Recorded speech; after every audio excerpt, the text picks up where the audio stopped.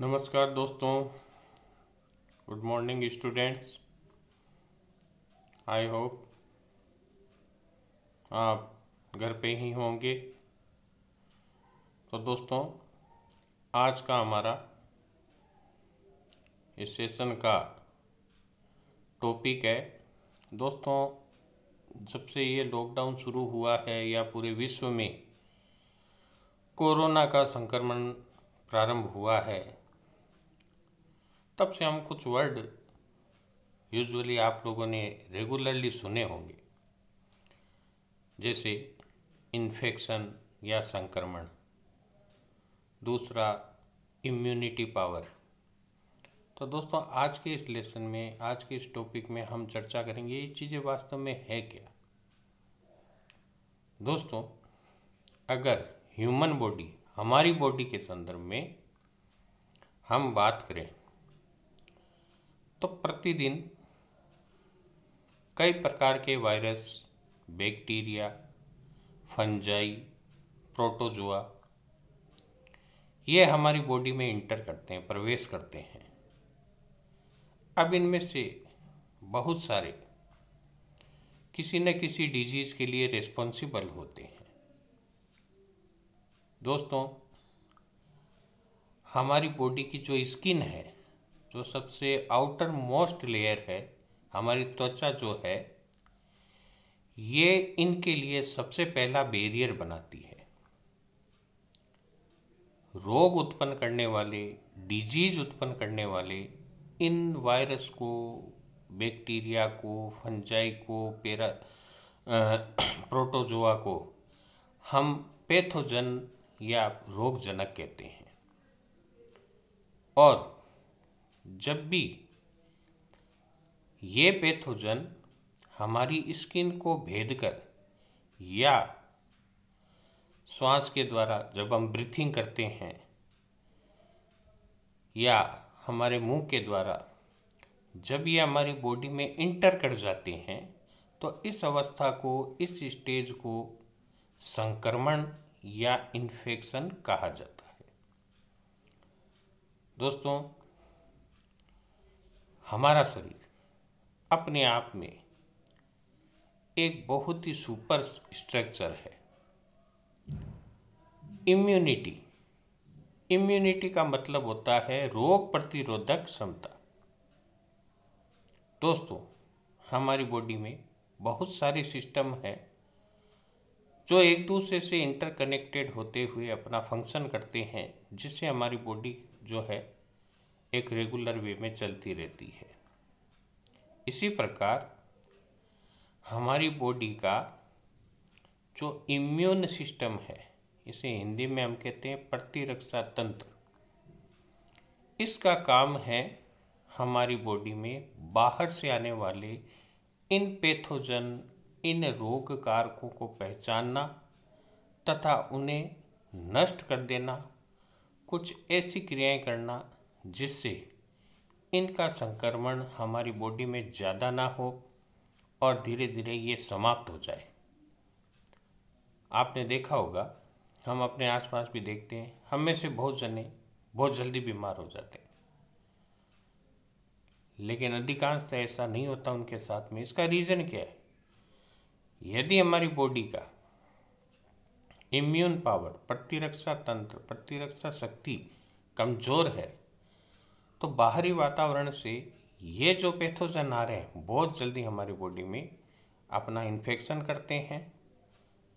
Result हम किसी न किसी डिज़ीज़ से सफ़र करते हैं। तो दोस्तों, अभी ये वर्ड बहुत चला है। ये एक हमारे साइंस की एक ब्रांच है, जिसे इम्यूनोलॉजी भी कहा जाता है। अब अब एक्चुअल में ये फ़ंक्शन कैसे करती है? तो दोस्तों, हमारी बॉडी में हमारा इम्यून सिस्टम दो प्रकार से डेवलप होता है। सबसे पहला, जो इम्यून पावर है, वो हमें हमारे, हमारी माता से मिलता है। हमारी मदर से हमें, हम इसे कहते हैं, ये जन्मजात हमारा पावर है जो हमें मिलता है। फिर हम विभिन्न प्रकार की बीमारियाँ डिज़ीज़ जो है, उनके लिए टीके लगवाते हैं वैक्सीनेशन करवाते हैं तो इसे हम एक्वायर्ड इम्यूनिटी कहते हैं। और जैसा कि आप जानते हैं, जब भी हम टीका लगाते हैं किसी भी रोग का तो उस रोग की डेड जो पैथोजेंस है, उनको हमारे बॉडी में इंटर करवाया जाता है ताकि हमारी बॉडी का इम्यून सिस्टम उन्हें याद कर ले, उन्हें पहचान ले और भविष्य में जब कभी भी वास्तव में ऐसे कोई पैथोजन हमारी बॉडी में इंटर करें तो ये तुरंत उन्हें ढूंढ कर उन्हें नष्ट कर दे। तो दोस्तों इन्फेक्शन या संक्रमण कई कारणों से हो सकता है। ब्रीथिंग से भी हो सकता है। हम कोई फ़ूड लेते हैं, भोजन करते हैं, कुछ बैक्टीरिया उन, कुछ पेरासाइट्स कुछ बैक्टीरिया उनसे भी हमारी बॉडी में इंटर करते हैं। और जब भी ऐसा होता है कि कोई पैथोजन हमारी बॉडी में इंटर करता है तो हमारा इम्यून सिस्टम सिस्टम हमारा प्रतिरक्षा तंत्र क्विक रेस्पॉन्स देता है। अब ये क्विक रेस्पॉन्स क्या क्या हो सकते हैं? हमारी बॉडी का टेम्परेचर बढ़ जाता है। हम बुखार आना कहते हैं इसे। आपको पता होना चाहिए हमारी बॉडी का नॉर्मल टेम्परेचर थर्टी सेवन के आसपास होता है। या हमारे गले में, हमारे नाक में कफ फॉर्मेशन हो जाता है। रीजन क्या है? ये सब बेरियर है किन के लिए? इन पैथोजेंस के लिए। ताकि इनको और ज़्यादा इन्फेक्शन करने से हम रोक सकें। तो दोस्तों, अभी आपने देखा होगा, हम पढ़ रहे हैं, सुन रहे हैं चारों तरफ़, कोरोना वायरस का जो इन्फेक्शन चल रहा है man to man man to man जैसा कि हमें बताया जा रहा है। तो सबसे पहला प्रयास हमें यही करना है कि इस इन्फेक्शन को हम ब्रेक करें। ताकि आगे से आगे इनका इन्फेक्शन ना हो। तो दोस्तों, अभी तक एक बड़ी रोचक जानकारी देता हूँ मैं आपको। इम्यूनिटी हमारी बॉडी में एक तो जन्मजात होती है और दूसरा वैक्सीन लगाकर हमारी बॉडी में इसे जनरेट कराया जाता है। लेकिन कई बार क्या होता है कि कुछ ऐसे इंसिडेंट हो जाते हैं जब पॉसिबल नहीं होता कि अब हम वैक्सीन लगाएँ। तो ऐसी स्थिति से आपको एक बात बताता हूँ मैं आपको। मान लीजिए आपको जहरीले सांप ने काट लिया। ज़ाहिर सी बात है, हमने ऐसा कोई वैक्सीन पहले से लगाया हुआ नहीं है। तो सांप ने काट लिया, उसका जहर, उसका पॉइजन हमारी बॉडी में इंटर कर चुका है, तब हम कैसे बचेंगे? तो दोस्तों, इस समय क्या किया जाता है? इंजेक्शन के माध्यम से डायरेक्ट जो एंटीबॉडीज हैं, उनको हमारी बॉडी में डाला जाता है, जिससे ये एंटीबॉडीज हमारी बॉडी की उस पर्टिकुलर पॉइजन से हमारी जो है सुरक्षा करती है। तो जैसा मैंने अभी उदाहरण दिया आपको, सांप के काटने पर एंटी स्नेक वाइल लगाया जाता है। तो दोस्तों, कुछ बातें और है। हमारा इम्यून सिस्टम काफ़ी हद तक निर्भर करता है। हमारी लाइफ स्टाइल कैसी है? हम, हमारा जो डेली खाना हम खा रहे हैं, उसमें न्यूट्रिएंट कितने हैं?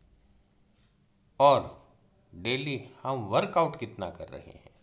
दोस्तों, वर्तमान समय में आपने देखा होगा, बहुत सारे वायरस के बारे में आप सुन रहे हैं और वर्तमान समय में कोरोना वायरस तो चल ही रहा है।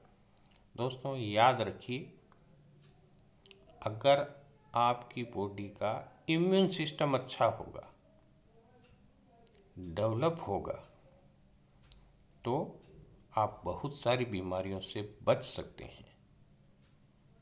इसके लिए आपको बैलेंस डाइट लेनी होगी, संतुलित आहार लेना होगा, ऐसा खाना लेना होगा जिसमें भोजन के सभी आवश्यक तत्व उपस्थित हो। हमारी लाइफ स्टाइल हमें चेंज करनी होगी।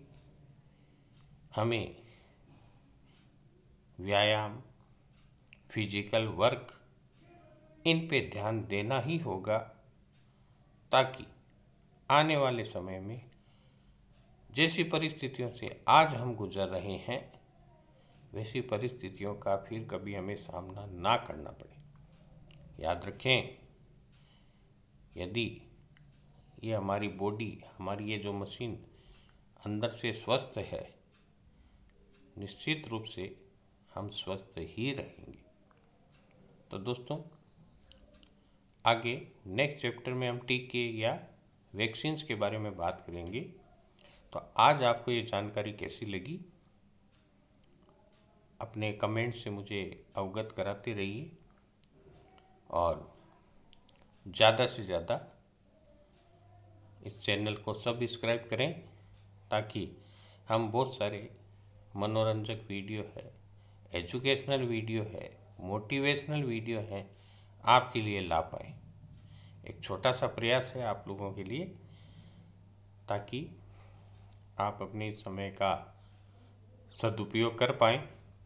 दोस्तों, पुनः हमेशा की तरह निवेदन करूँगा, घर पे रहिए सेफ़ रहिए, और हम ज़रूर जीतेंगे कोरोना कोरोना के खिलाफ इस जंग को। लेकिन प्रयास हमें करना ही होगा। तो दोस्तों, एक बार फिर आपका दिन मंगलकारी हो। तब तक के लिए बहुत बहुत धन्यवाद। Thank you